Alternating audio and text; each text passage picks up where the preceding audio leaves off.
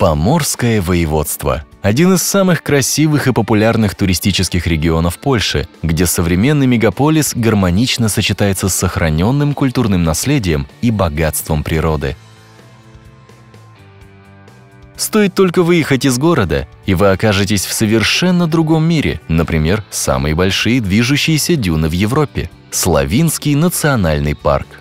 Вы можете мне не поверить, но всего в 100 километрах от Гданьска находится крупнейший в Европе массив движущихся песков, внесен в список всемирного культурного наследия ЮНЕСКО.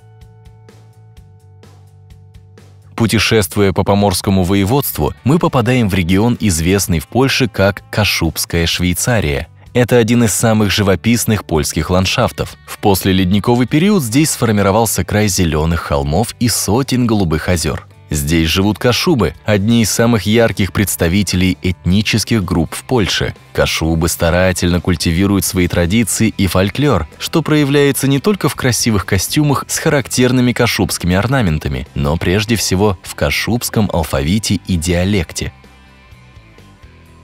Кашубская Швейцария – это также и национальная кухня. Блюда из мяса диких животных, рыба, клюква – вот отличительные черты местной кухни. Сладкая кашубская клубника известна и признана не только в Польше.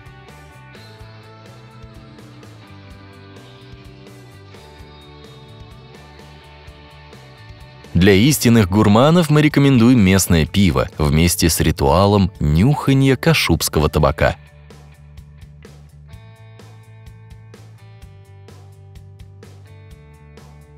Мы говорили о кашубах, самой большой, но не единственной этнической группе, проживающей на Поморье. Дома, построенные в каркасной конструкции, называемые домами в клетку, это один из самых узнаваемых элементов культуры славинцев. Отсюда и название этого региона – «Земля в клетку».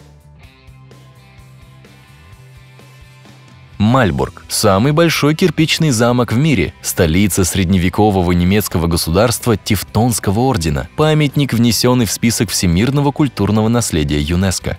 На Поморье можно побывать еще в семи готических замках. Они находятся всего в нескольких десятках километров друг от друга. Замки были построены тевтонскими рыцарями таким образом, для того, чтобы в течение одного дня можно было верхом добраться до соседнего замка.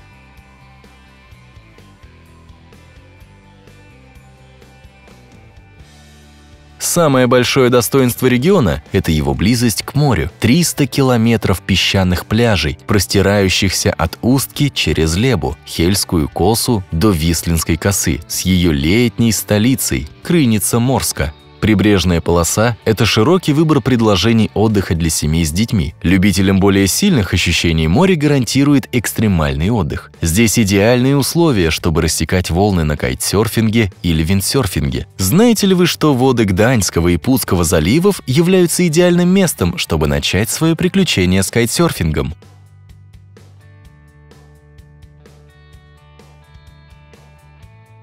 Ты предпочитаешь более спокойные воды? Речное судоходство по Жулавской петле является отличной идеей для проведения времени. Путешествие на плоту или лодке по реке Висла или Нагат станет прекрасной возможностью познакомиться с древней культурой жулавских поселенцев и посетить уникальный в своем роде арочный дом. И это всего лишь несколько из множества предложений, которые вы найдете в нашем регионе. Добро пожаловать в Поморское воеводство!